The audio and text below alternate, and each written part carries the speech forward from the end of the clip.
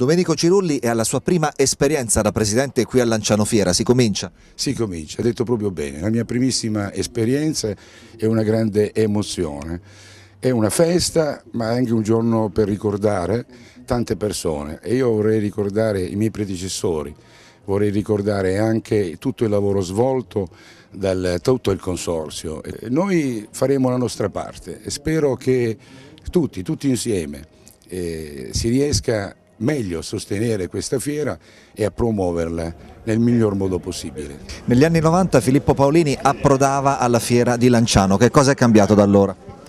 Ma guardi, la fiera di cultura io prima mentre parlavo eh, veniva una sorta di flashback eh, e cercavo di ricordare molto del passato.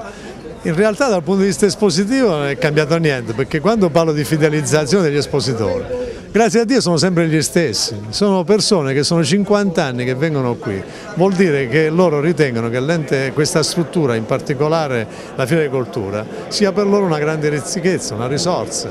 Sindaco, oggi però spicca l'assenza dell'assessore Febbo, una nota stonata? Ma non so, penso che abbia avuto degli impegni più importanti, sono momenti molto delicati per la campagna elettorale, eh, Mauro è sempre molto vicino al mondo agricolo, specialmente adesso che riveste questo ruolo da assessore all'agricoltura, eh, ci saranno altre occasioni per stare insieme con lui. Come sempre molto importante è la parte convegnistica nella Fiera di Lanciano, ce ne parla Ciro Pasquini, coordinatore dell'ente Fiera.